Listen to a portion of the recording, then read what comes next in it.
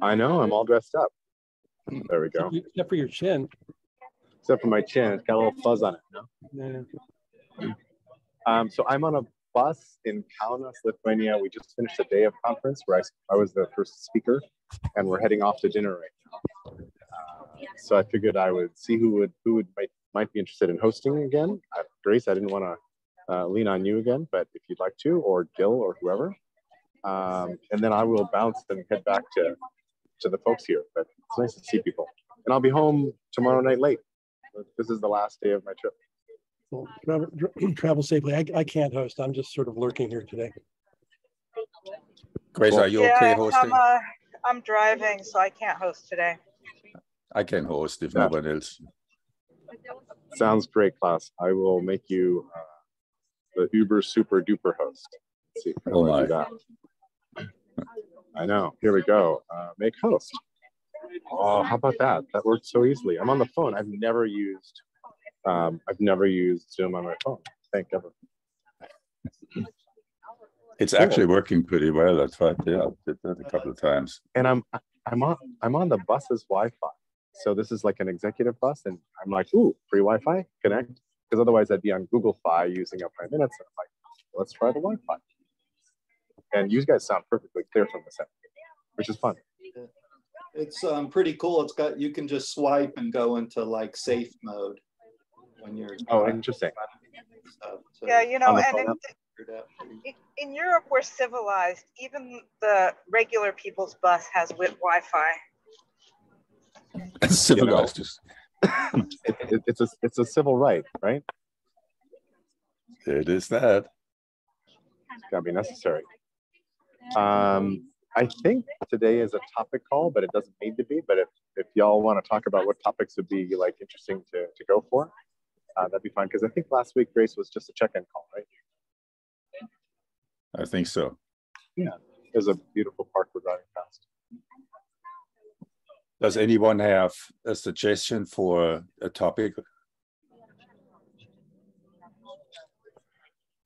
Or you could pick one of your current puzzles. Uh, Klaus, I mean, you've got lots of issues you've been putting on the list. Grace, you're, uh, I don't know if you, if, how much progress you've made in, the, in your open calls. If you want to talk about that, that would work. So whatever you guys want. I've got a Yeah. weird one. I've got a very weird one. Go this ahead. is Oh. inspired. This is inspired by Ken Homer's um, email sharing the Yoda um, lip That syncing. damn, that damn Yoda video. But I, so my question is, clearly, there are trillions of extra hours that people have to devote to creative things like that. Yeah. Oh, for sure. The, the cognitive surplus. Is there any way we can just get one or two percent of it going in a direction that would change the world? I totally agree. Now you're making me want to stay on the call, but Yeah, it's a it's a great question because partly what I'm saying is, you know, everybody in the world doesn't doesn't contribute to Wikipedia, but almost everybody uses Wikipedia. It doesn't take a lot of people to build a huge shared asset. Uh, so how do we build a shared memory? Let's get a couple of us to contribute to the shared memory and lather, rinse, repeat. Yep. I'd also like to have two minutes on what uh, your conference in Bucharest left you with. What were the Oh. what were the take homes, and, and also whether you've gone across the, the, the, the city to go to the International Telecommunications Union meeting. They there's I three somehow- three thousand telecom wonks who meet every four years to determine what the UN will do to help or hinder the development of uh, the telecommunications infrastructure. Is They really need to hear from you, Jerry. So Mike, Mike Nelson has my proxy. I agree with everything he's saying. Let's do whatever he Nice. says. but Is first, Jerry, if you could tell us about Buc- the, the, the, the co- conference in Bucharest, yeah. the Yeah. unfinished conference. So it was my third year doing something with Unfinished. They found me two years ago and invited me to do a keynote. So I recorded the keynote in Portland in some videographer's garage. And then they, you know, they showed it as a, as an, you know, one of the keynote speeches during the 2020 Unfinished. But I really, I got to know them a little bit online. They were just delightful. And it's a shoestring operation that mixes a whole lot of art in music, painting, uh, tactile experiences, somatic stuff. I mean, it's really, really cool. Um, along with you know more conventional talks and, and other formats And then last year I did some story threading, and then this year they're like, "Hey, we're going back to in person," and they they moved venues because this used to be held in a large art museum, which they kind of raced around in and, and took over in a cool way. But they found a University of Bucharest property that had a big house and some grounds and a greenhouse in the back, and then another little sort of cabin. And they did the most phenomenal job repurposing it. They, they had to clean up the little forest. They broke up some concrete sidewalks and made like uh, gravel paths out of them. They put globes in the, you know, in globes and fire pits with, with chairs out in the middle of the forest. And then they, we had a whole bunch of events. And I, I did a, a keynote talk that I think really went really, really well. Um, and my, my theme was basically how did I build? So the thing I said in 2020, how did I get that thesis? And I got that thesis from paying attention to my contrarians, my outsiders. So I told that story and it worked really, really well. So I'm looking forward to that talk being available on YouTube. Um, and then I met like the first person I meet um, is like this Brazilian singer, songwriter, guitarist who starts running, running everybody around the campus to do a, an opening tour. Uh, then I meet two young Brazilians who are brother and sister phenomenal dancer singers wielding TikTok and Instagram like I've never seen anybody do. Like he was just scrolling through his Instas. I'm like, wait, you took all those? They're they're incredible. And he has a stutter. He's a rapper. And when he's singing, he's on. It's insane. It's incredible. And like when you speak with him, he's this beautiful, genuine guy. He's got a pretty heavy stutter. Um, so that, those are the first couple people I met. And then other sorts of folks came in and the guy who does the modern love column for the New York Times every day would host some people reading some of his favorite modern love columns. Uh, there were exercises, there were uh, all kinds of stuff. So it was, it's a special conference. I really, I was really happy to be there. And is it related to the Unfinished Live conference that's held in New York City? So Micah Sifry wrote a piece about, uh, on my advice, he wrote a piece about how Unfinished Live is trying basically to steal the brand. and and uh, and Christian, the founder of Unfinished Romania, uh, tried to interact with them. You know, maybe a licensing of the name or something like that, and they were assholes. Uh, so I don't really like Unfinished Live. It's uh, on my on my shit list. Thanks. Yep, yep. And if you if you Google um, Unfinished Live Micah Sifry, you'll find uh, the article, or I can post it when I'm not on a bus moving around downtown Kaunas. Any spillover from the Ukrainian uh, conflict into the discussions? So um, it's funny in Romania, which is right next door, there were signs of support on the street, but it really didn't make it into the conference very much. Although some people were like really supporting. Here, support for Ukraine is much more visible on the streets, just everywhere. and then I sat down next to a woman yesterday on the bus, and I said, "Oh, where's home for you?" And she had a kind of a Russian name. She says, "Kiev."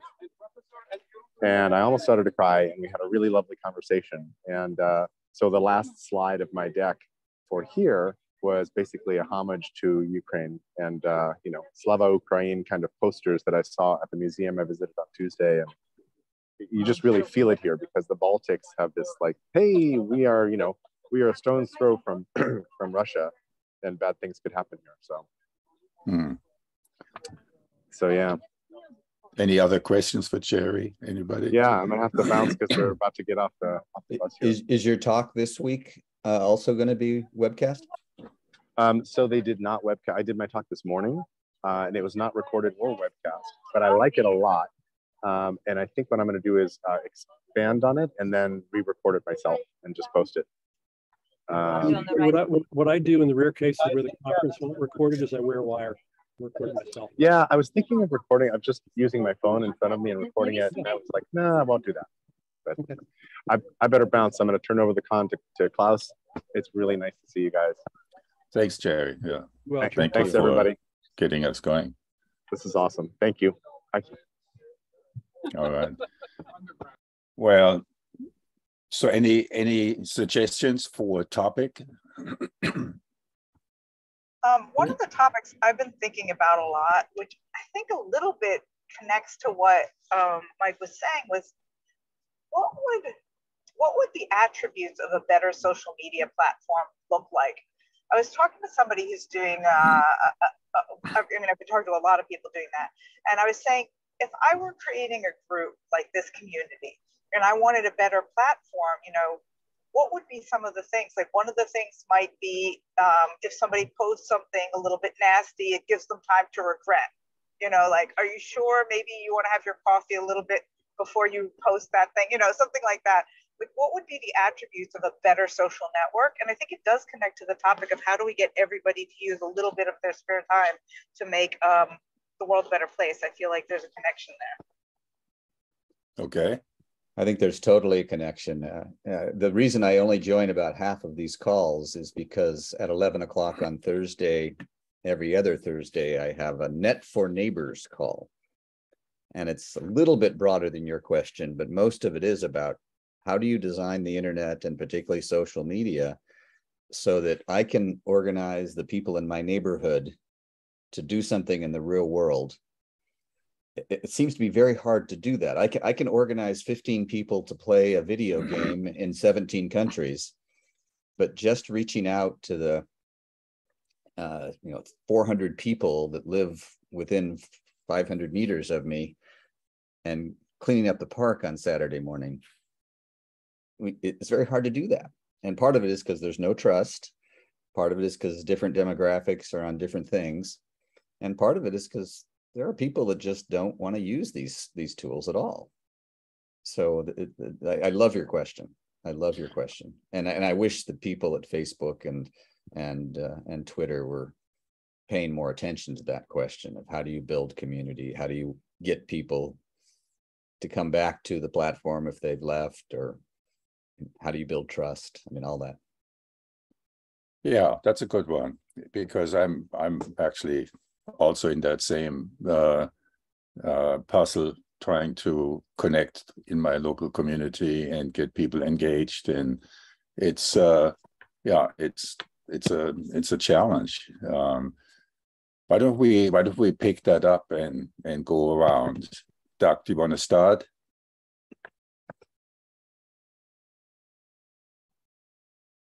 Um I, have spent a lot of time thinking about this. um, and spent two hours this morning in a working session with my partner in Argentina talking about um, creating a, a persistent, um, open to synchronicity um, cafe or salon um,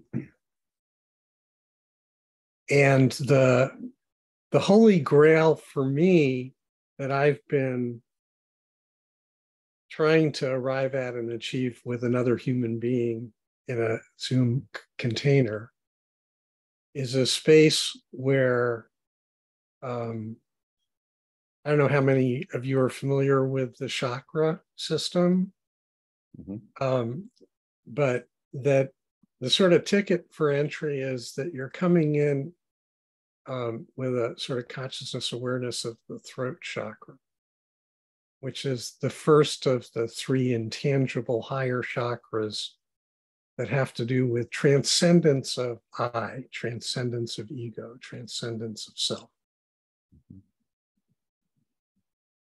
Because so much of social platform engagements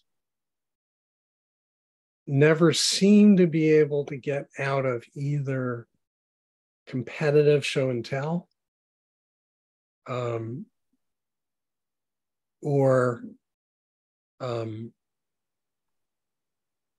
sort of falling into woo woo without it being possible to combine that with doing, with creating, generating new. So it's sort of like people can do one or the other, but they can't seem to do an integrated version of both. so that that's the living piece for me, like hell or high water, and maybe I won't make it before I'm gone. But um, that I'm like looking to um, experience with with others. Um, so that that's the piece of the puzzle in this you know, meme that that lives for me. Okay. Carl, you have your hand up, but then you're up next anyways. You want to go ahead? Okay. Yeah, this is at the heart of all the things I've been working at too. It's uh, um, it's interesting. I was saying just as I got on to with Jerry that there's like all this convergence around can people with disabilities participate in the virtual world uh, type of thing. I mean, that's might be the greatest challenge we've had technical tech, technology wise and as far as like the people side of things.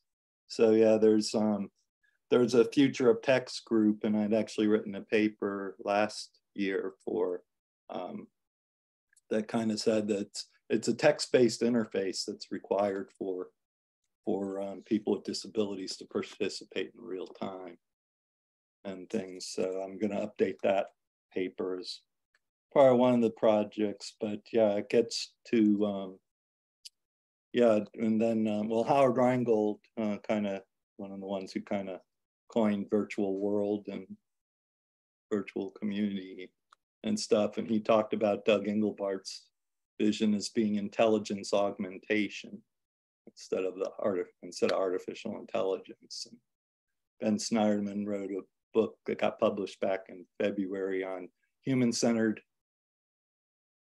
artificial intelligence, and he frames it as a second Copernican revolution. We need the algorithms need to be revolving around people rather than and stuff. So those are two of my those are kind of two of my sources and stuff. But it gets uh, it gets to this whole thing too. I mean, and it's the technology is really I mean the communications technology. I mean, with what we've had within the past couple decades. I mean, everybody in the everybody in the world can be can be talking to anybody else in the world in real time and stuff through you know, technologies like we're using right now and stuff. And that what that enables so much stuff. I mean, we've had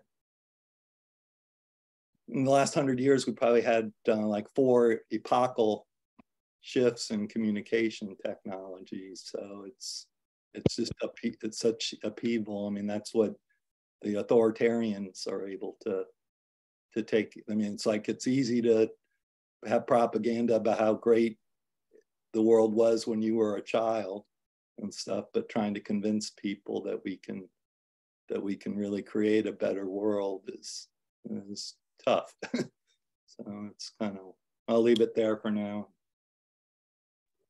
Carl, there, there, are, there are two aspects here really. One is the uh, media platform, and which has opened up uh, incredible uh, opportunities to communicate across the time and space. I mean, vast spectrums. But then there's also what you're going to talk about, and and so so the the structure of the conversation, the topic of the conversation. How do you how do you see that? Yeah, that's the um, yeah that um, another one of uh, Doug Engelbart's concepts is about co-evolving human and tool systems. So we've the technology, the tool systems we've been involving amazingly we're devolved. Our human systems seem to be devolving right now. But it's yeah it's how do you um a big key for me is uh, i've been uh, is um, facilitation methods too. So how do you engage people and um so there yeah it's there's like this whole like enabling environment that we need and then then we and the the then these facilitation methods can can um, leverage that to really get people communicating more effe effectively and stuff so. okay thank you um, i'm just having a conversation with judy who doesn't have uh, doesn't have sound. I think Gil, could you go next, please? Sure, Mike's got his hand up. Maybe that's a direct comment. Oh, I'm sorry, I didn't see that. Yeah, Mike, go ahead. Uh, it's not a direct comment, but okay. um, it, it it is about this problem of the bad squeezing out the good. And I've just seen so many discussion lists degenerate because one or two people decide they have an opinion and if everybody doesn't share it they're going to keep stating their opinion. And I, I, I think reddit has been amazing in terms of you know pushing up the good and pushing down the bad. But we don't have that for most of the platforms we use online. And, and, and clearly the facebook algorithm is almost exactly the opposite. If someone says something disgusting revolting provocative quote provocative that gets pumped up even if, even if it wastes everyone's time. But well, that's by design. That's their intention. Exactly. Exactly what they're designed to do. Yeah. But, but I don't know that the nonprofit social platforms have found a better algorithm that, or they found a better algorithm, but they haven't found the best algorithm. So that's the, that's the challenge for some of these other other people out there. Well, the upvoting, downvoting is an interesting thing. The problem isn't just the algorithm of the platform, but how the platform gets meaningful scale. Yeah. Which, which not people turn out to be able to do yet. So I want to come back to Mike's, your suggestion about how do we uh, do something with the cognitive surplus. Uh, I personally don't feel a lot of cognitive surplus. You mentioned Reddit, and I remember like all the platforms I'm supposed to be tracking that I don't track. Uh, so there's that.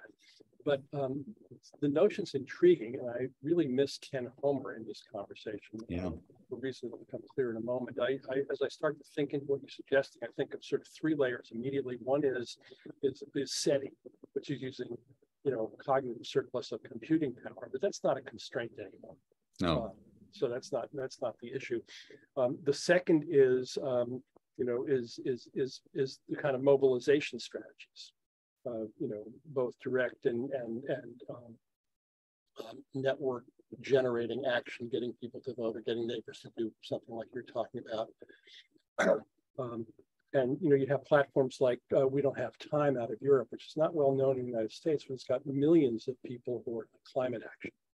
Um, hmm. Um, and the third layer is is what we're doing here, which is human beings having conversations that move something forward in the world. And that's what intrigues me and is why I would want Ken in the conversation. He's kind of a, you know, he's a wizard of that sort of thing.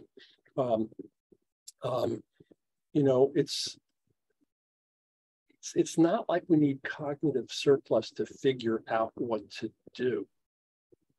We need cognitive surplus to get us engaged with each other, um, you know, living in the world differently, interpreting the world differently, having different moods about the shit show that's around us, uh, and generating effective local and national international actions. That's sort of like my, uh, uh that's what's immediately provoked by what you're saying. It's obviously kind of superficial, but the, the, the, the, the, the provocation that you're offering of what might happen if 1% of the trillions of dollars going into bullshit media stuff uh, got shifted into something else. And I'm content to start with nothing more specific than that and just go wild with that, both in this group, and that might be a place to start out in the world is like, you know, take your provocation and put it out wide and, in, and have some kind of structure to harvest whatever it generates uh, and just let that loose as a wild virus in the world. Like, what might happen if you know, if I mean, if each of you took two minutes off from TikTok or MSNBC or whatever your drug of choice is, and that's not very much, but um, what if like you know five million of us did that? What might be possible? My friend David Gershon, who um, runs the Empowerment Project, um, out of where? Out of Woodstock, New York, which has done the Cool Block program around, around the country, getting neighbors to work together around environmental and sustainability improvement. It's like the old barn raising. It's let, let's all of us work on water heaters this month. All of us mm-hmm. work on gardens next month. It's a very cool program. And David's great line is that, you know, people say, whatever I do feels like a drop in the bucket. And we all know that. And he says, but what if I could show you the bucket? Mm-hmm. And what if you could see all the little drops starting to fill something up? And that's what I, that's how I listen, Mike, to what you're saying here. I love it. Um, and uh, let's let's do something. I should get him to come to my call for you know the session of brainstorming. Send, send me a note and I'll make the introduction. Thank you very much. Of course. That's it for me. Klaus can't hear you. You're muted. That's a rookie mistake. It's a, fi- Grace, it's a you, you, firing offense for a host. Grace, you got your hand up. Grace, can you can yeah, you hear us? sorry. Yeah, I just Okay. have um, I got one of those glass covers for my phone, and now I have to press really hard when I want to unmute.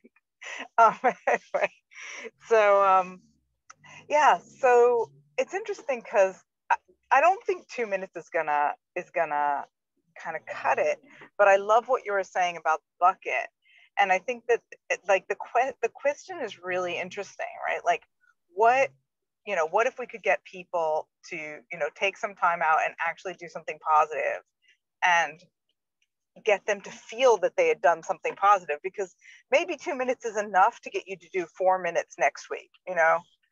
Maybe that's that's good enough for now. Hold on, I'm just gonna stop so you can see. Um, anyway, so that that's a great start. And I think one of the things that I keep thinking about whenever I think about this question, like what would better mean, is like is is exactly that. What what do I mean by the purpose? And I think maybe there's no one size fits all. So one thing might be, okay, how do we design social media that gets people to at least speak to someone in person once a week, right? Go, mm. go to an event and, and meet somebody because there's a need that we have that this kind of and when when we talk about Zoom fatigue, what we're talking about is it feels weird to be in these relationships online without actually talking to somebody. And the loneliness, kind of endemic loneliness that we have. So one purpose might be let's, yeah, meet up without meetup, right? And another purpose might be one of the things that I think so much about in groups and in communities is um, in, in, in uh, business, it's called churn, right? what happens when somebody leaves? I mean, how many times have you either left a group or somebody in your group has left and nobody said anything? Um, Mm. but your cable company knows when you're about to leave. Your cable company has all kinds of statistics, and about when they start to see certain usage patterns, they call you up and offer you a deal because they know you're going to leave. They've even anticipated that you're leaving based on your usage patterns and other usage patterns.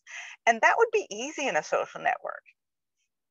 If you were in a Hmm. group like this and people stopped coming to the meeting, well, that's obvious.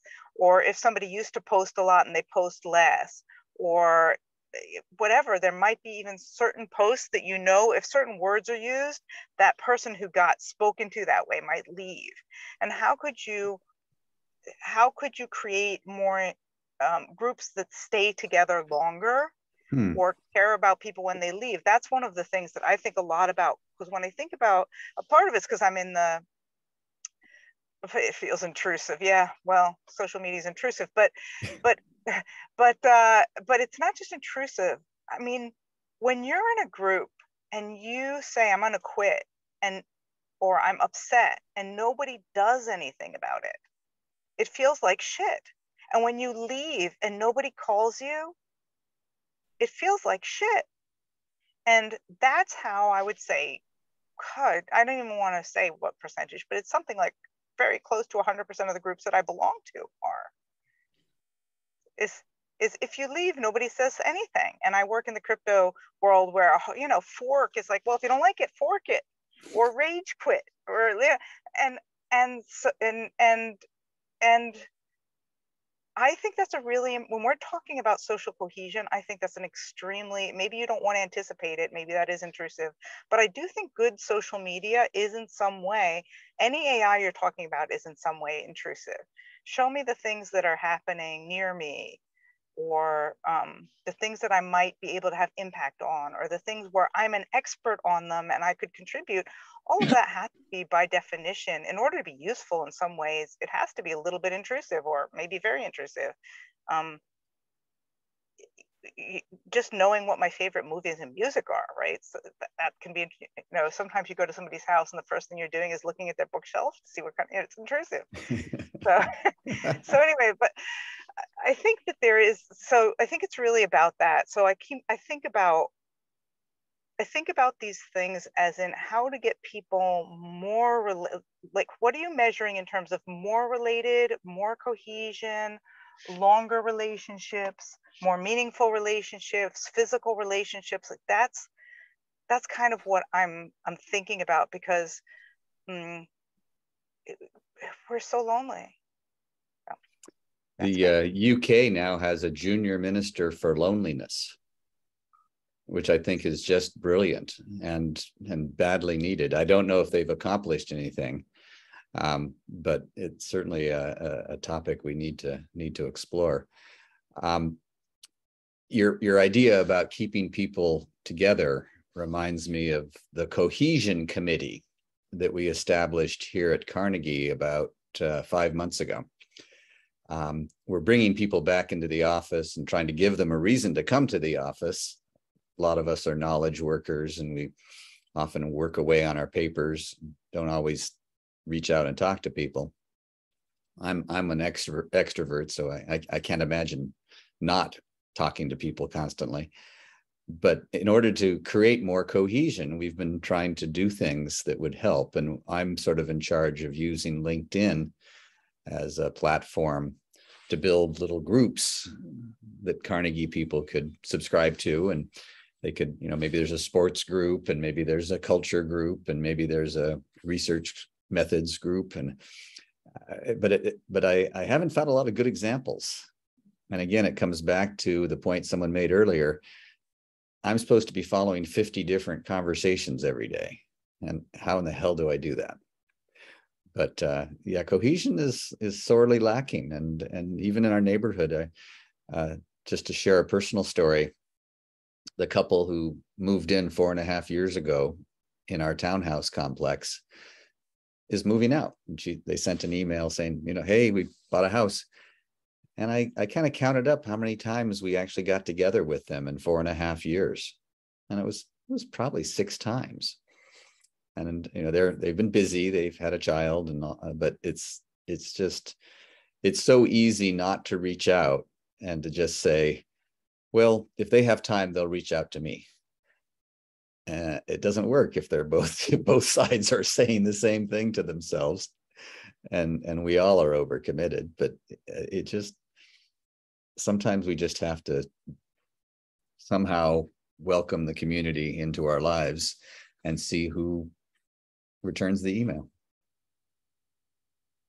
You know, I wonder what role these associations play um, who have before internet traditionally filled uh, the the community sense. I mean, League of Women Voters comes to mind, but there is, I mean, dozens of uh, of special interest uh, groups you know that uh, perpetuate themselves somehow and and a lot of them aren't perpetuating themselves a lot of them are collapsing a Over. lot of bowl, bowling leagues to elks clubs to i mean the veterans groups will carry on forever but there's a whole lot of these communities that have just faded away yeah and covid certainly threw a curveball into all this yeah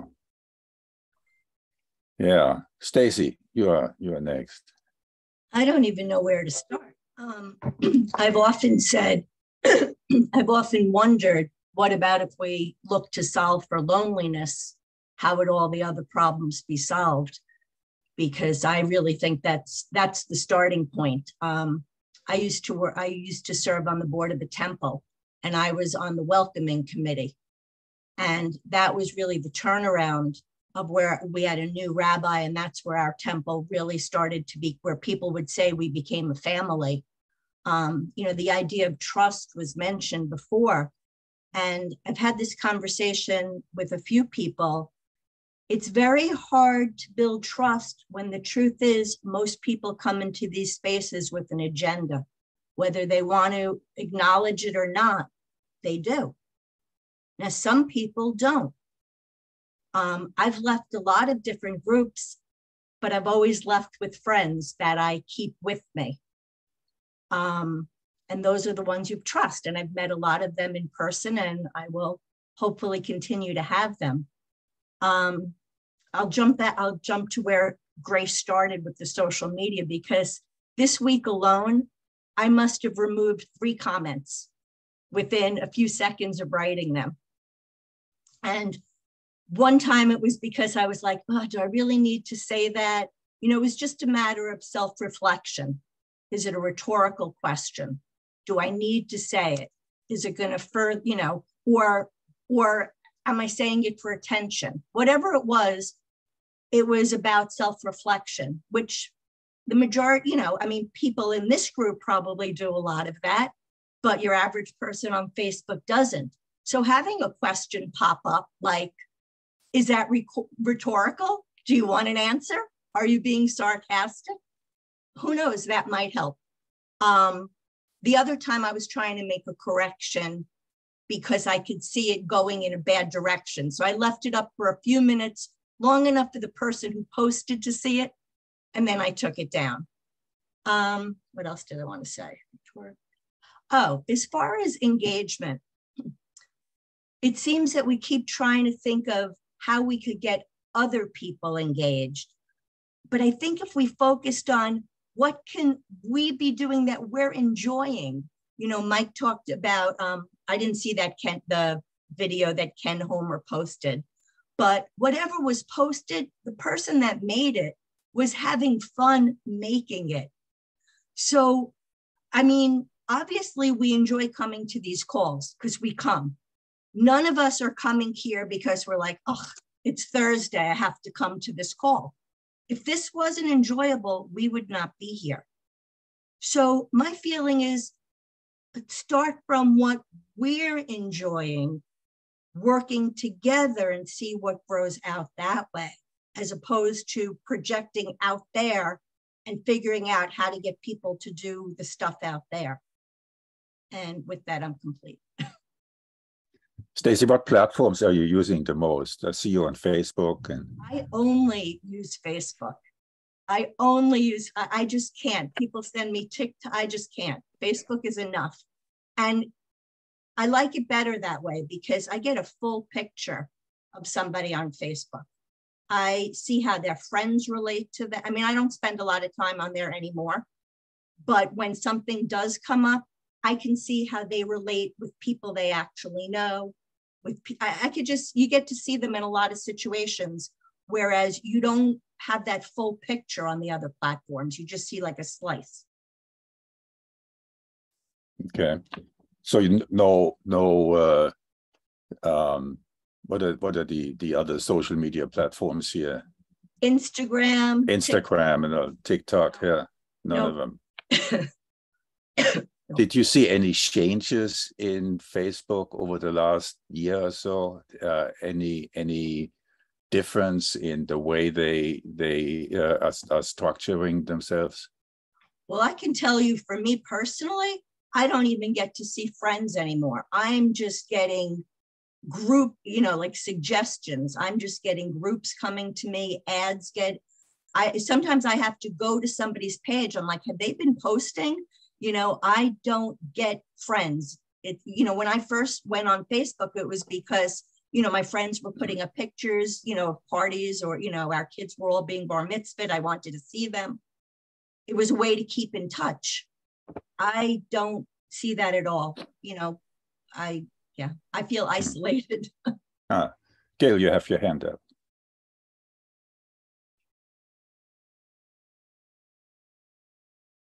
Yeah. Um, couple of reactions to what Stacy said.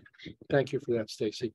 Um, so disclosure, I'm I'm active on Facebook and Twitter and LinkedIn. Um, I try to do more on LinkedIn professionally. I've tried to control Facebook, um, which is just a weird damn place. Um, I only friend people who I actually know in meat space. That's my particular quirk there. Um, and I've learned um, painfully to not comment on comments from people that I don't know. So there's a couple of times where fr you know, friends of friends have said something and I've said something, it's like going into shit show, so I don't do that anymore. Um, I've uh, looked at Instagram, but I'm not really on it. I've never touched um, uh, TikTok and uh, you know Reddit is random and Signal is random. Um, so there's that. Um, uh, you know, it seems that we need different cultural norms. I mean, we have cultural norms about how you behave when you meet somebody at the market or how you behave when you visit them at their home. Or in your faith community, or maybe in your community organization, although that's deteriorating clearly. Um, we see that on the news. Uh, we don't have norms for this online stuff.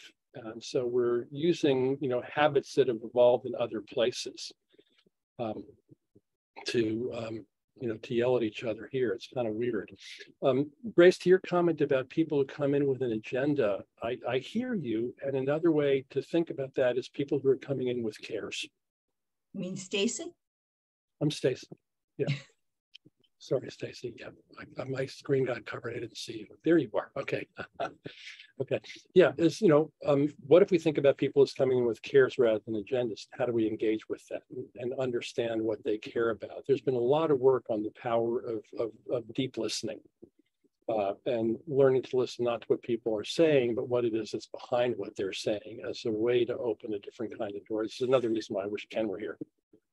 He's all over this stuff um, as is you know Fernando Flores and um, what's her name, Meg Wheatley, and a number of people who have been real, real students and teachers in this realm about how to how to discover a conversation that's not obviously there and get past the obvious to a point that where people can actually connect. I mean, like you know, Mike, your neighborhood stuff is like that. You know, there's a level at which um, you know, if it's cleaning up, if it's cleaning up the vacant yard a block away, that has nothing to do with your politics, religion, or anything else. It's like an obvious care, you know, common common care in the neighborhood.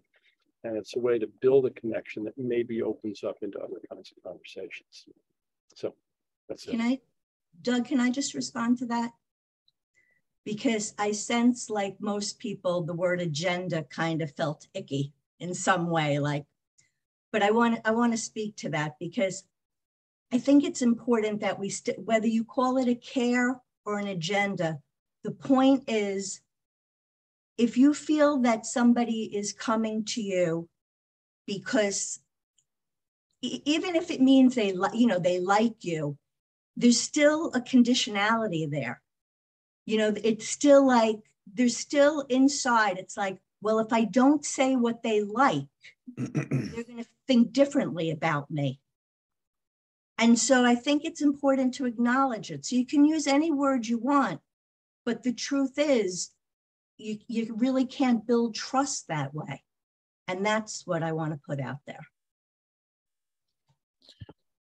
Jill, you still have your hand up. Did you want to go? Um, oh, that's just floating up in the air. I'll take it down. Okay. There, there is this strange mix between um, uh, anonymity, you know, no matter how you're on the net, and then uh, uh, evolving familiarity and friendship and so on. So because it's just not a physical relationship. Yeah, Doug, go ahead.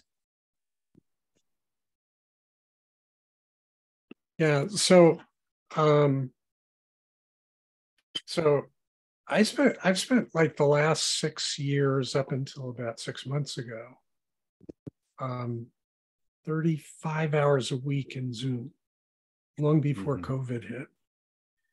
Um, and I related to it as sort of the, the counterpart to my my uh, collaborator in Argentina. He was pursuing the academic PhD track. I was doing the field work, and it was um, a lot. You know, half of that was focused on gatherings that were topic and agenda blank slate just coming together to, to talk, to connect.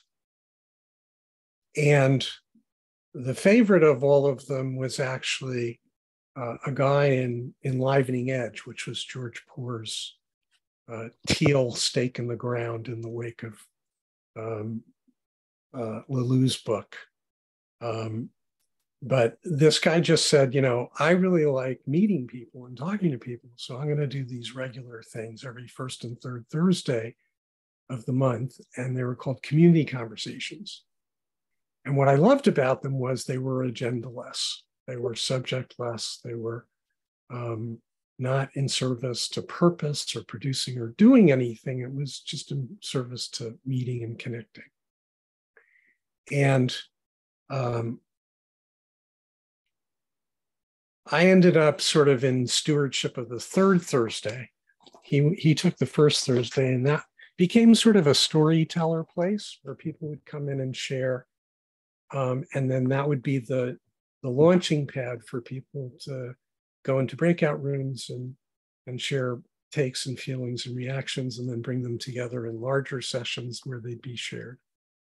Um, I ended up with third Thursdays and um, I would pick a meme, a word, um, and come up with a couple of questions, one internally introspectively oriented and one extrovertedly oriented um, to explore my own particular twist and dimension of how I related to that word as a as a um, orientation point.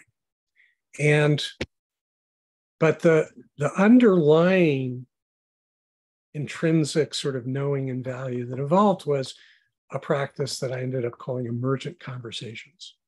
Mm-hmm. And it's not in the experience of it, it doesn't feel like there's any constraint, doesn't feel like there's any framework, doesn't feel like there's any elaborate anything. But there's actually art in that. Creating a safe container, not bringing or imposing anything, not having any quid pro quos, not having any prerequisites but um, so part of that was in the the design of the invitation itself, like the announcement of the event, the framing of that. And part of it was in a couple of steps at the front end that um, the first one had to do with people hearing their own voices, speaking to others in breakout rooms. Like just the act of having everybody responding to each other. Usually in groups of no more than two to three people. Brief. But everybody coming out of that was like present. Like might seem really basic but like it's a deal. It's a big deal for people to actually um, be in the room. Mm-hmm. Um, and uh, and the the fundamentals of connection for some it's about like being invited and feeling safe to express themselves to use their voice their agency um, and and for others it's um, being heard. Like really truly feeling heard. And then there being the space and the time for people to um, acknowledge and enhance that by saying yo i heard you. Mm-hmm. um, they're really fundamental, basic human experiential things that are missing in a lot of what's going on out there, but that are achievable in a Zoom context. Like it, it, it can get really intimate, as in into me see, you know, that kind of intimacy. Um, and it can be very powerful and connections can be very strong. And I have partners and people that um, around the world I've never physically shared space with uh, that I'm very, very, very close to, and vice versa. Um, so it's in the soft human spaces um, where the magic and the energy is, and the connection is, uh, and that sort of is is as as Jose Leal loves to invoke. That's proto, not meta. Mm-hmm. It's like fundamental and before you get to talking about something. And uh, it is amazing if you create the invitation, the space, the safety, and the just enough of a frame for people to either feel comfortable about how to or feel safe enough to um, uh, have that opportunity. And that can be stirred into any existing context, corporate or political or whatever. Um, but there are dimensions that most people don't attach a, a, thing to, don't relate to as something necessary. They go, they ju- jump to chapter four and get busy. Um, so I just wanted to offer that. Mike, go ahead. Doug, I, I guess I wasn't listening quite carefully enough and wasn't taking notes fast enough.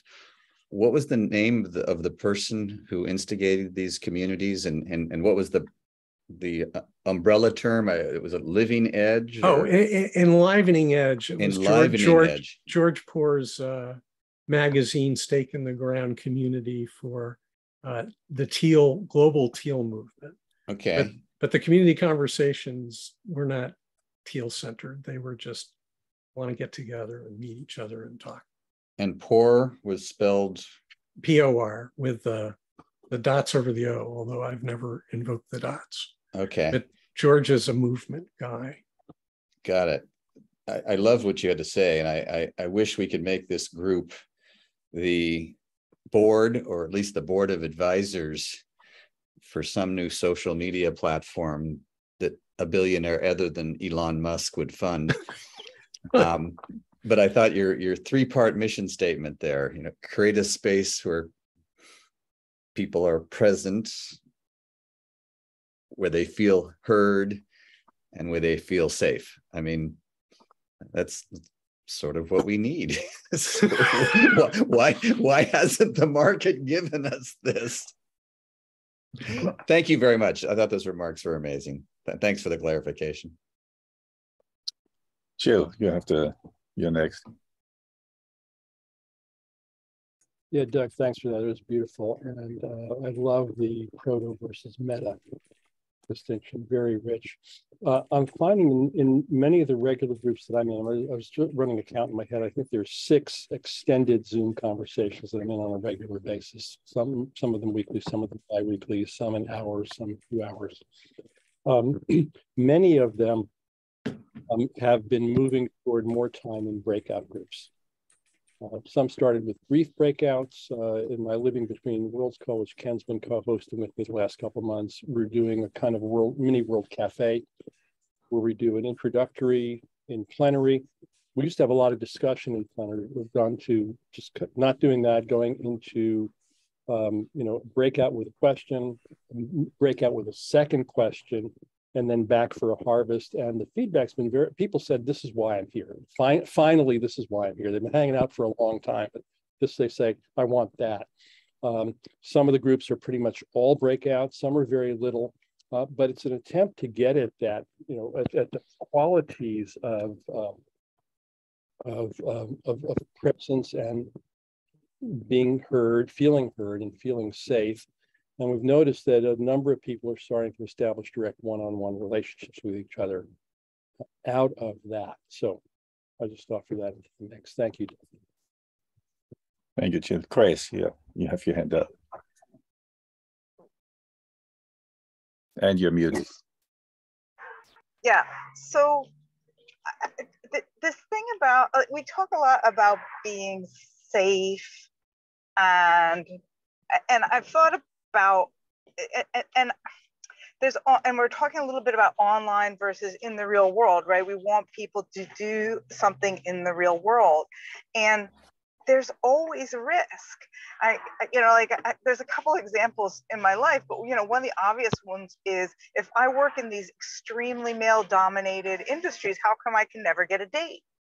And it's like well i'm not going to take a risk in those environments when I'm face to face with people or going to an industry event, like I'm not going to get drunk at a party in my industry.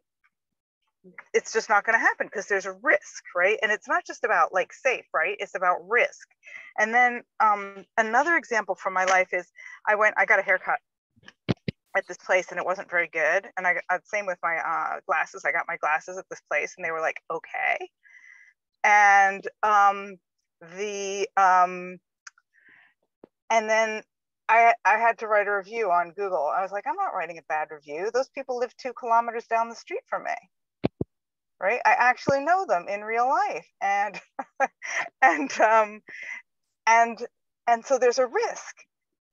And and then the third example I want to give is we've all been in business relationships or personal relationships, and if you're perceptive, you've noticed you don't really know that you can trust that person until something really went wrong and you fixed it together right? Until you have that breakdown and that misunderstanding and you saw each other's ugly, it's like, I'm not sure I can do business with this person, or I'm not sure this person's my friend.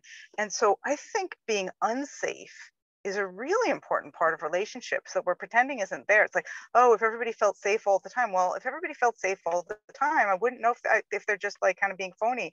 And it's so much easier to be safe in this environment where um, where it's like I'm not at I'm not at risk. Like all of you guys um, live on the other side of the ocean. My chances of actually meeting you in real life is really low. So I can say whatever the heck I, you know, right? There's I think risk is a really important part of relationship, and and it's an important and, it's it really touched me um, when uh, Mike was at the beginning talking about getting the neighbors actually physically together, because as long as you don't like when you go to pick up stuff right? How do you dress? If we're going to go do a garbage pick, how do I dress for the first time you see me? And how much garbage you're you going to expect me to pick up? And what about that gross thing I don't want to touch? And, you know, all of a sudden there's going to be all these um, behaviors that aren't expected of me. And then Stacy was talking about synagogue. When you go to synagogue, it's this, um, you know what's going to happen. They're like, and the welcoming committee, if you go to a good synagogue, and the first time you walk in, they they offer you an aliyah, and either you know how to do that or you don't. And if you know how to do it, you're like, okay, I know exactly the words I'm going to say. I know exactly the melody I'm going to say it. I know what's expected of me. And it's and and I'm not going to get the first one, so I'm going to get to see the other people who go before me. And there's no no you know like it's a very small risk at the beginning. And there's certain behaviors of how you sit and how you act. And i feel like in the neighborhoods there's like a there's all this risk that you don't like oh. So so i feel like we need to both mitigate that and also create that in a way that works. I don't i don't know how to do that but it's not all about safe it's about unsafe too thanks grace uh, i switched gene and mike because mike you have to hop out in a moment do you want to go next mike i just wanted to say thank you for an incredibly fruitful conversation. We, for me, it was three hours of wisdom in one hour, and I'm really upset I have to drop off. But I'll hope to see you uh, in the future conversations. All right, and, and I, I, hope we can capture some of this for the people who weren't here. I'm, I'm sure Ken would love to know what uh, what came down. The the chat has about five percent of it. Yeah, it's being recorded. Okay, that's right. We'll, we'll, we'll, do the clockwork orange thing and strap Ken to a chair and prop his eyelids up and make him watch the recording. and make him right. type responses to everything we say. okay. Gene, you want to you want to go next? Thank you, Mike. Do you want to go next, Gene? I've forgotten what the question was. so okay. Um, Grace, you want to restate it? Uh, the question is social media uh, platform how do we interact how do we engage how can we create community um, does that uh, summarize it sounds like several questions hmm. it was something like what do we mean by better and what would that look like when we say we want a better social media platform well, even before that, Mike had raised the question of what might we do with the massive cognitive surplus um, all these gazillions of people spending all these gazillions of hours on various kinds of social media platforms. So it's more agnostic than the platform what do we do. But that, that that's what I heard before then, then the question that you mentioned came up. I would say take a risk and comment whatever you want to. You're safe. With all that said, Shane, what do you make what do you make of it? for all of those people who spend all of that time on social media, I expect that there aren't many of them who have a gun to their head forcing them to do that, right? So that apparently they find it meaningful for one reason or another. And, and what is it? What is it that encourages you to engage with someone else? What is what is what is it that's actually the basis for community? You, you talked about, you know, I mean, who knows how many groups there are on LinkedIn these days, and and they're constantly trying to get other people to join. Though I find that the best thing that I can do is to figure out how to make the exchange I have with someone meaningful to them. Screw what I want, you know. I mean, I can find it someplace. Um, if if I well, I could talk to you once and never talk to you again. So then, who gives a shit, right?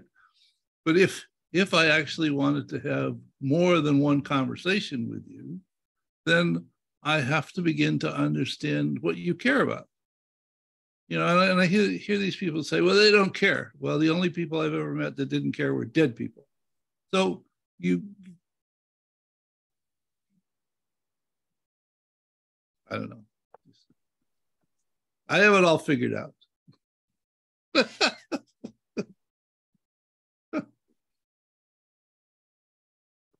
yeah. I, I, I haven't really answered like... the question, have I?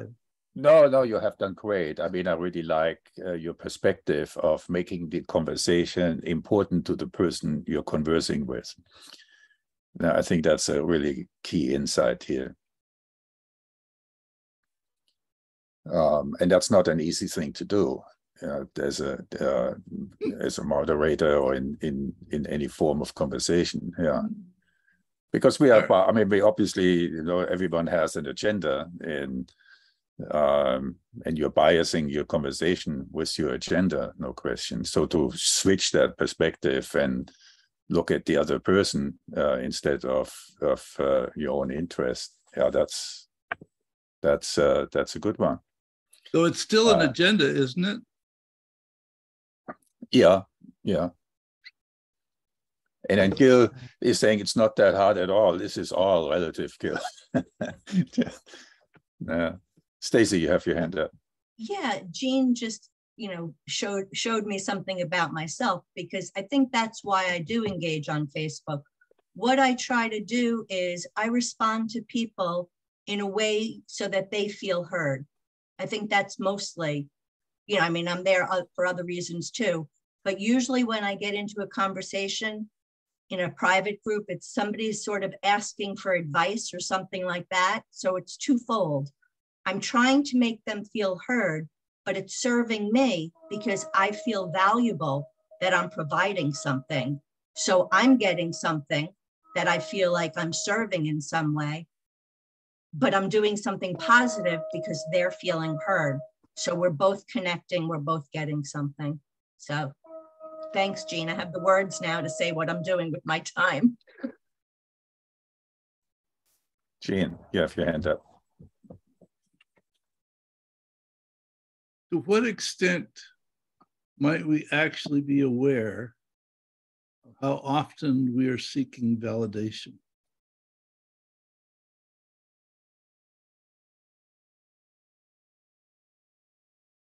I like questions better than statements.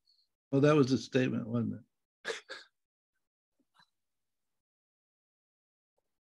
Anybody want to touch that? No. Can you restate that again? Uh, a state, well, a statement that ends with a question mark. the, considering the amount of time that we actually actually are seeking validation, and that is our agenda, are we aware of that?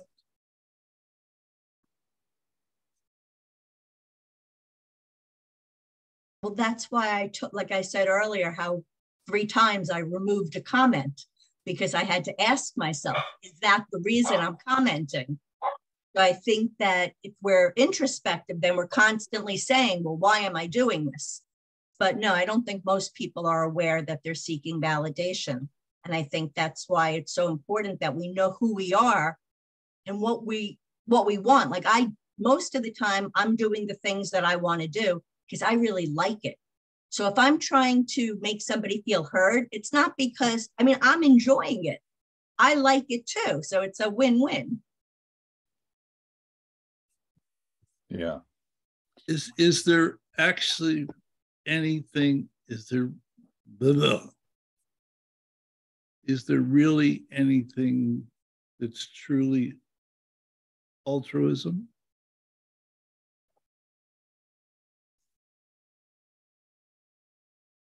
Are you shaking your head because you're saying yes or no? I'm saying yes. Absolutely yes.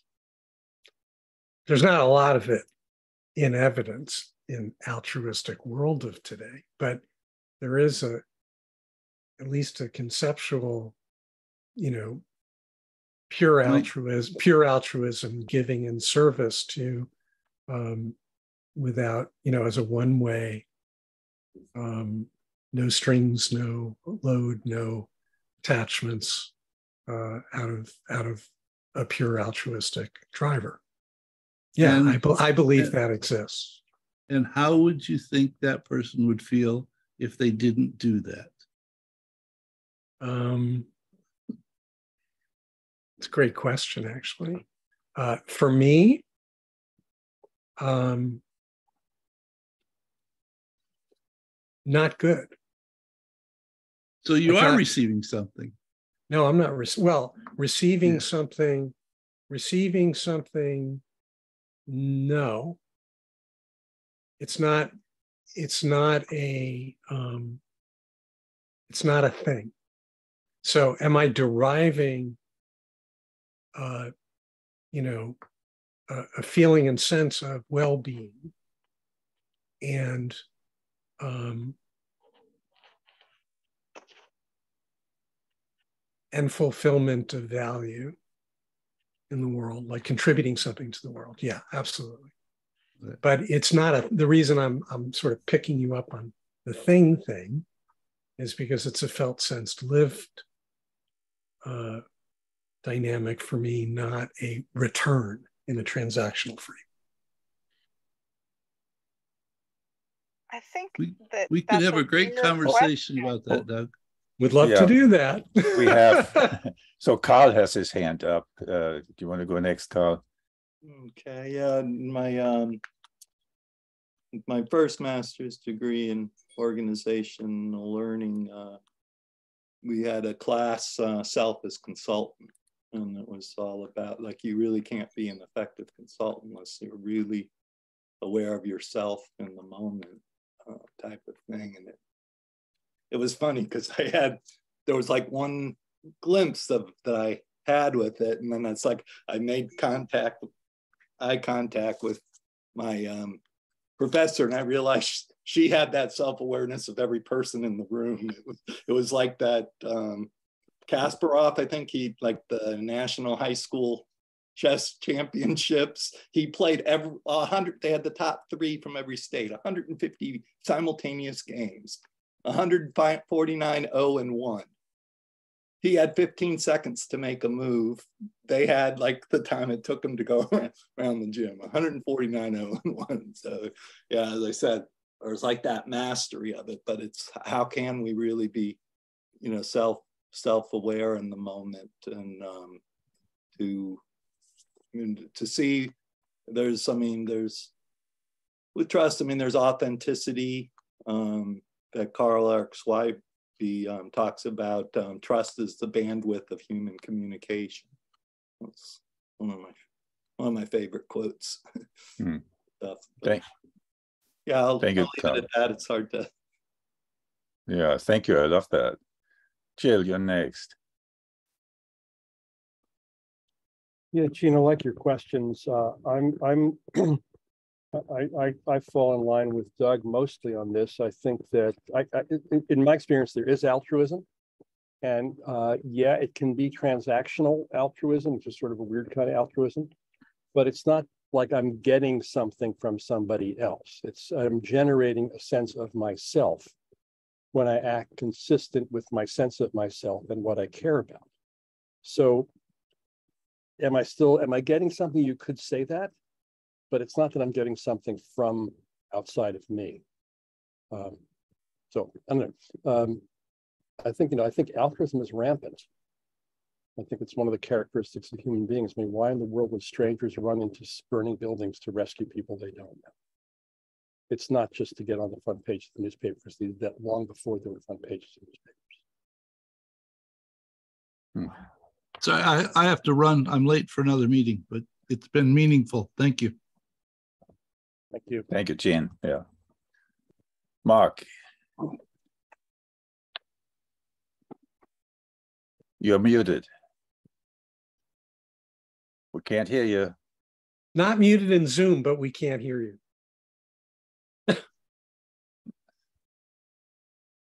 Well, let you figure this out, Chris. Do you want to go next, then we'll come back to Mark. I think you can hear You me. are on. Okay. Yeah. yeah All right. good. Um, I have a number of friends who look at relationships as in the metaphor of the economy. There's you know plus, there's minus, there's um, investing in people, there's um, kind of billing people for for you know your time in, in some way. Um, again, kind of exchange model, transactional model. And that is something that does exist, but I don't think it is mandatory. I don't think it's, you know, I don't think everybody models human relationships in in economic terms. And it always disturbs me, especially when it comes to friendship, loving, romance, um, the the more sort of human as opposed to kind of more kind of social or societal um, models. Anyway, um, I see a couple people um, nodding their heads or a couple people looking confused. so I'll, I'll, pass to, uh, I don't know if Gil is uh, still has his hand up or Grace. Yeah, I think maybe Grace next. I think that Grace, you go ahead.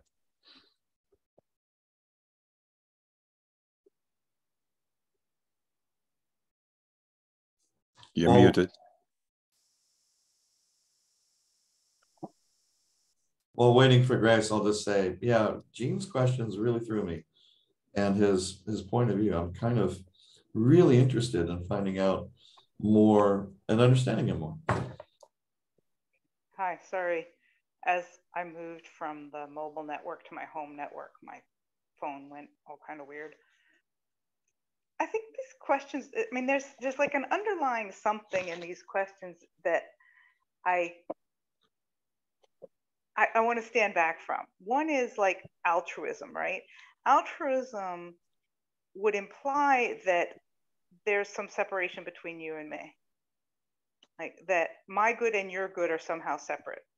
And given that we live on a, the same planet, that's probably not very true. And so even the phraseology altruism to me is a little bit like it implies something about the human condition which isn't doesn't occur to me as true. Like if i say something nice to somebody i feel nice. If i say something nice to nobody i feel nice. If i say something mean to nobody i feel bad. You know like this idea of altruism has this weird assumption that you're over there and i'm over here rather than that we're all part of some mm. being right? And so i'm not sure i agree with that I think an interesting question is her- about heroism, right? Somebody mentioned people running into a burning fire. That's not altruism, that's heroism.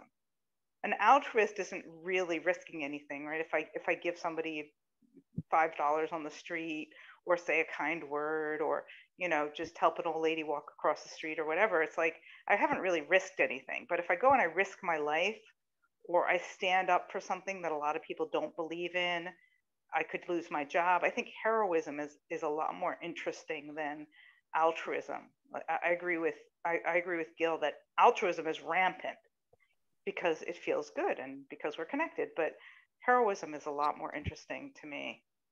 Um, and I think, and then the other the other thing about both about altruism and the other question he asked about like how much are we seeking validation, as if there's something wrong with that. You know, like what if I'm seeking validation all the time? Like right now, I'm seeking validation. Let me scroll through. Is everybody smiling? And oh, look, Klaus is smiling, and he's the he's the, he's the host, so I, that's the best validation I could get. And well, Doug always smiles. I don't know if that's validation. And you know, like as if there's something malfunctional about how our psyches work. And I don't I don't ascribe to that. I think that if we're seeking attention or we're seeking what, like, there's some reason that our psyches work the way they work. And uh, yeah, it's better to be aware of it. But uh, like, there's this implication, like, maybe there's something wrong with something about us. And, and, and, and we all need to be more enlightened. And I'm not sure that I ascribe to that. That's me. I heard uh, someone say uh, it's way back, and I can't attribute the comment, but it's uh, it's he was saying that the world will be saved by reciprocal altruism, a system of reciprocity and altruism. Uh, you have to because we do expect reciprocity in order to build trust, right, over over time. Yeah, so yeah, that that seemed to because it, it, it altruism is also selfish in some way, right? I mean, you help others to help yourself. Well, that was Gene's point, I think. Yeah, that's what go, I thought he was saying. Yeah, and go I, ahead, Stacey. Um, no, just just quickly to Grace's point. The problem with validation is when you're seeking validation and moving away from what you really want. So when you're doing something that is not what you would normally do specifically to seek validation. I think that's that's when it becomes a concern. Well, maybe. I mean, it depends. Like, if your instinct is worse than what society would have you do, then maybe validation's good. We just live in a society where what our society considers good might not be so great. So because it's got to be functional, right? It's got to be functional. Otherwise, it wouldn't have survived evolution. Mm. Right, but I think I think that need for validation. I mean, I'm speaking for myself now.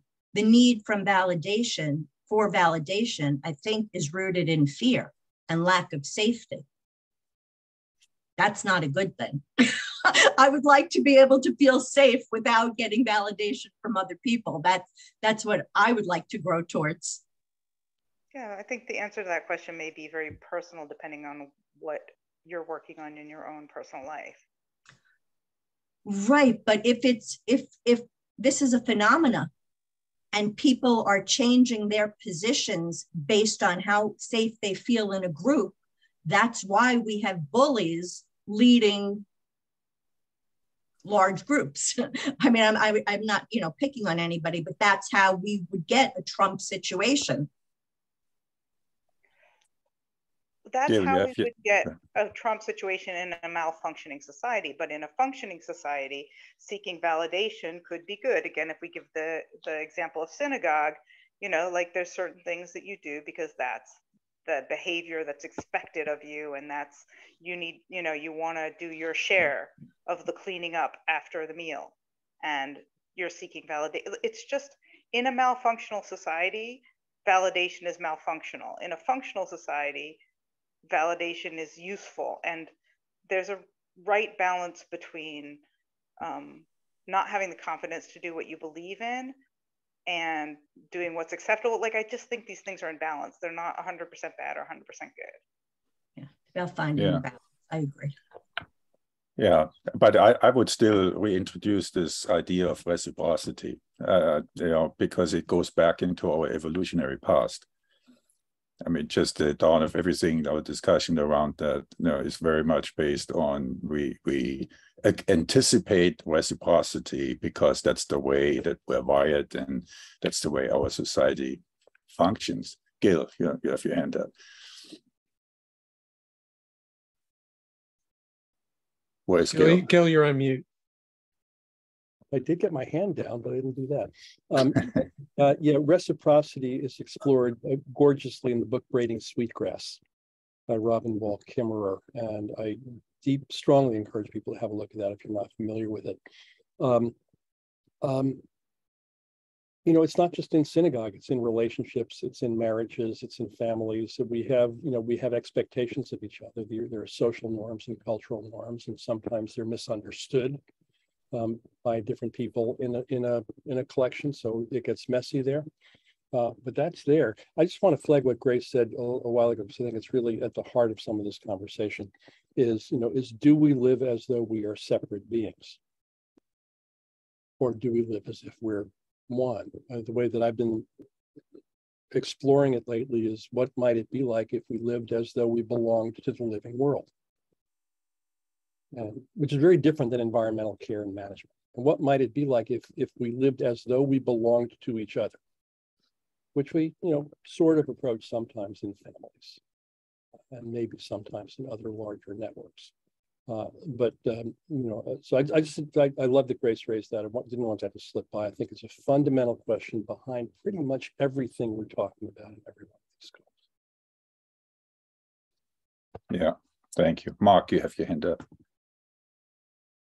Yeah, I was reacting to something you said, Klaus, um, about you know there being you know some reward that the altruist gets, and and certainly um, that can be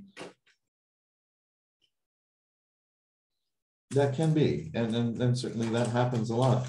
I also believe there's the possibility and the reality of doing something without a reward um, i as a software developer and designer um, have encountered many systems that try to algorithmically implement values, whether it's a reputation system or um, you know a friend of a friend uh, kind of networking to kind of say, oh, you might like that person because they like chicken, and you know, it's it's it's this sort of overlay of a, as I try to put it, a um, discrete system across a analog system. You know, we are human beings. We have values. We are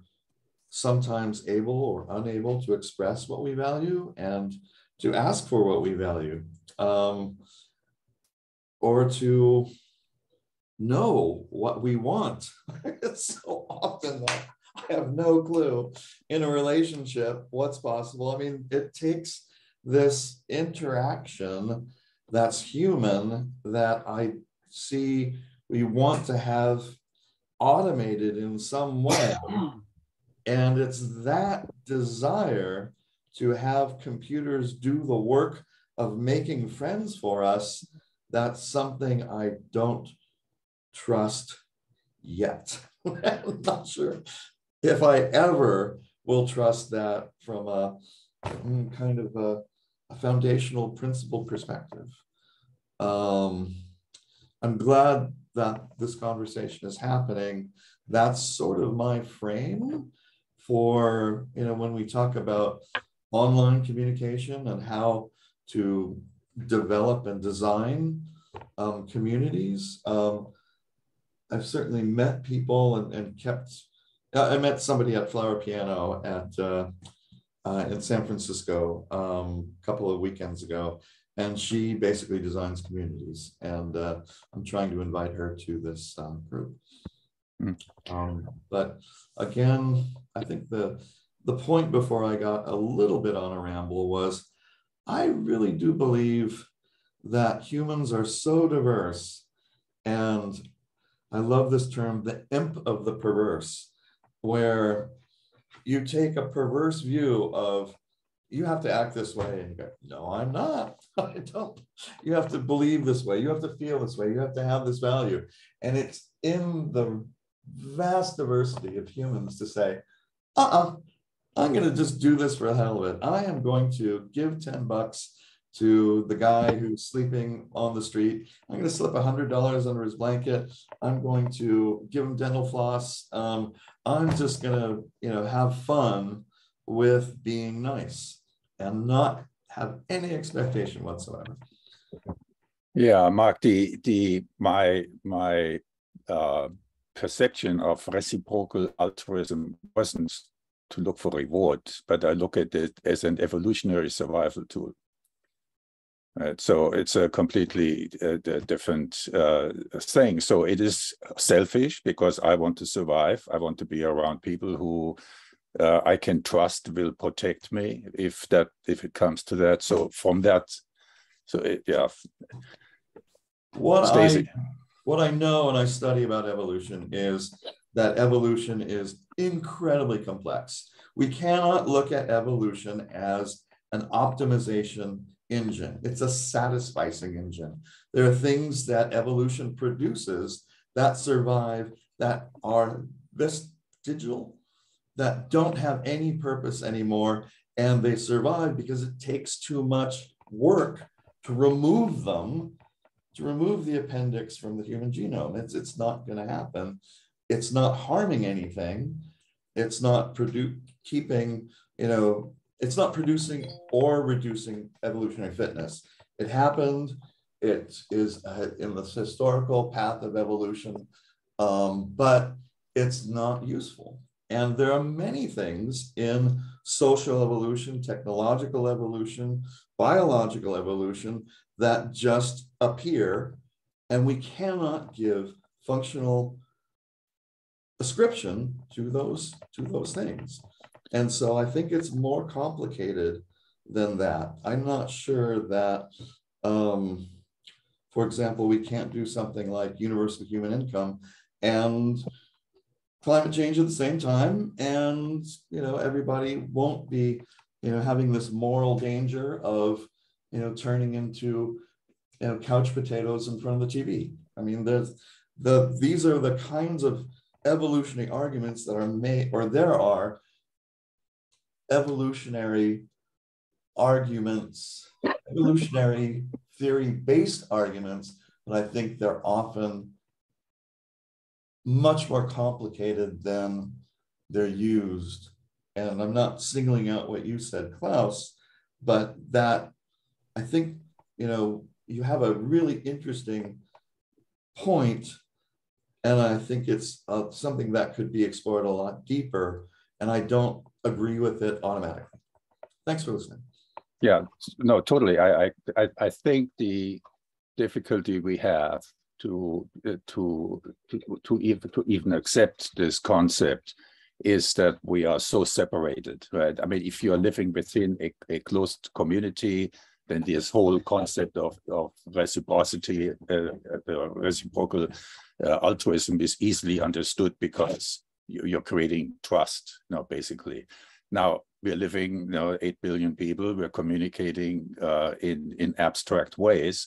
So that uh, that concept is is in my mind as vital and important today as it ever was but it's just not obvious you know, to to us. And it's so easy to violate because all the the anonymity that we have in our society so Stacy, you've got your hand up. Yeah, uh, to Mark's point about you know not wanting an algorithm to you know suggest friends based on the fact that they all like chickens, I agree. But um, what was I going to say?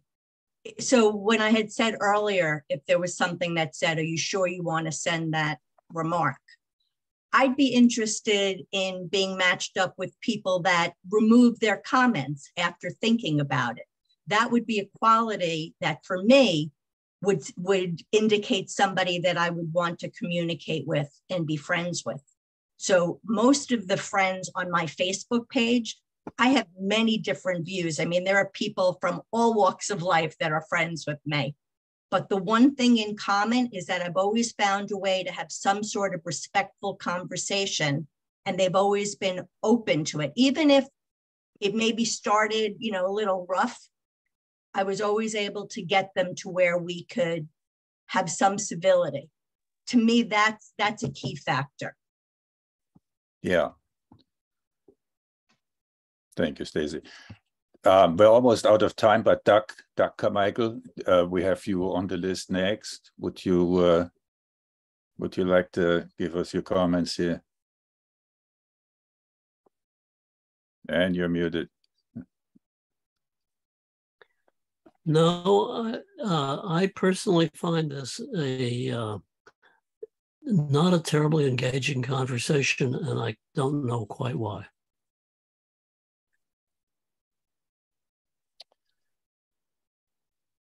Could Yeah. You take a, could you take a shot, Doug? Well, it seems to me that if we, uh, in the long range of history, that we spend our time this way rather than coping with the issues of society and the economy and history will look strange. There's a brilliant book by Tom Standage called Writing on the Wall 2,500 Years of Social Media. And he goes all the way back to the graffiti on the walls of Pompeii and talks about how that was a way that people shared information and even built community. People would sort of walk by the same wall and add things. But he spends a lot of time on the coffee shops and the uh, and the letters written by these scholars in the 1800s and 1700s and and how you know, these new paradigms of community building changed history.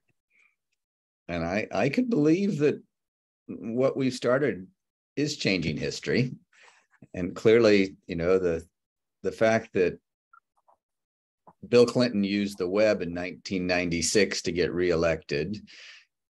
Barack Obama used uh, Meetup to beat Hillary Clinton. And Donald Trump weaponized Twitter. I mean, we've already seen three cases of these technologies changing history, or at least American history, which often changes world history. So I, I maybe I'm a technological optimist. Maybe I'm a because I'm so close to it. I, I tend to overemphasize what we're doing, but I, I particularly given that we're only 10% of the way through the internet revolution, I, I, I think this is there's something really important going on here. I what we don't have is a good good answer to all the questions that we've posed. Yeah. But thank you for for being the skeptic. We need we need that. Yeah, Doug, to you Let, let me say what's on my mind instead, and I'll try and keep it very short. What if human beings, in their interactions with each other, weave a network that becomes increasingly tight? And as it expands across the globe, we get to the point where the, the weaving is so tight that actually nothing can happen. And we've built ourselves into a spider web trap uh, that prevents action, and we just crash. Now, my thinking is that that might be uh, human nature. There's no way out of it. Human beings, by being inventive and relational, are going to weave themselves into a structure which becomes impervious to change. That is known in Heidegger's term as the enframing, where you know we define language so carefully that we can only use it in this again discrete way and not an analog way. I'm not sure that that that's gonna that's human nature, Doug. I think I think uh, we're always, um, you know, my friend who was a uh, who, whose his parents were hippies, he became a Marine sniper. You know, as the generations change, um, I, I think you know I, I trust I trust uh, I trust eight year olds to be different from me. What, what was Heidegger's term again? The enframing. E N or Yes, I N? EN, EN framing. Thank you. Yeah, I would have. Uh, uh, I, I, I would have loved to insert a question about have you seen change in conversations over the last few months? You know, and has there been some sense of uh, urgency? Um, are people uh, becoming alert to the environmental um, discussions that are taking place politically, environmentally, and so on. So we didn't make it to that to that question, but um, that one, Klaus, depends entirely on where you hang out. Because if I hang out here, I hear very different conversations than if I hang out on Fox News. Yeah, no, I didn't mean Fox News. I mean conversations. I don't mean uh, the media. I, I mean oh, no, in, in the. But the people who watch Fox News have conversations and their conversations at school boards and Proud Boy meetings and Republican, you know, election campaigns and you know supermarkets and so forth. There's conversations all the where every time, but they're diff- influenced by different constellations of I, I, I hear, but I wanted to really personalize this. So, so for me, for example, I'm on LinkedIn. Uh, I don't spend much time on Facebook anymore, but I'm you know, in the leadership team for the Sierra Club, Citizen Climate Lobby, Business Climate. So I'm in a bunch of groups, and I can see people starting to become more alert, uh, dialing in uh, more intensely to wanting to know what is uh, uh, happening around them in a sense that it may impact them personally. So, so I was just wondering if that is reflected in the group, uh, in your own personal conversations with your own personal networks.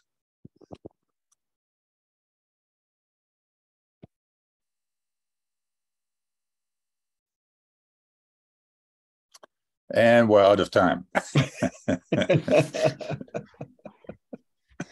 but no, just uh, because uh, I, I think it would be important to dial in, right? Uh, because to Doug's point, we're really in bad shape. I mean, this is, uh, you, you know, uh, what I'm working on, dealing with all the time. We're in horrible shape. And 2023 will be a very rough year uh, as it is shaping up.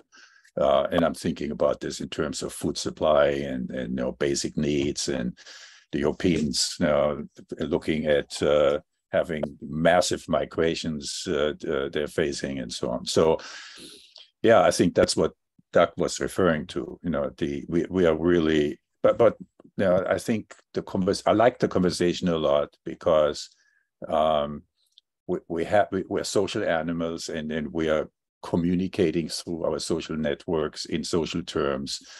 Um, uh, yeah, it's just is the urgency really at the level that it needs to be? I think that was Doug's question. Is that fair, Doug? Yes. Yeah. So with that, thank you so much. It was a great call. Really appreciate it. Uh, yeah. Thanks for hosting. Yeah. Thank, thank you. you. Bye bye.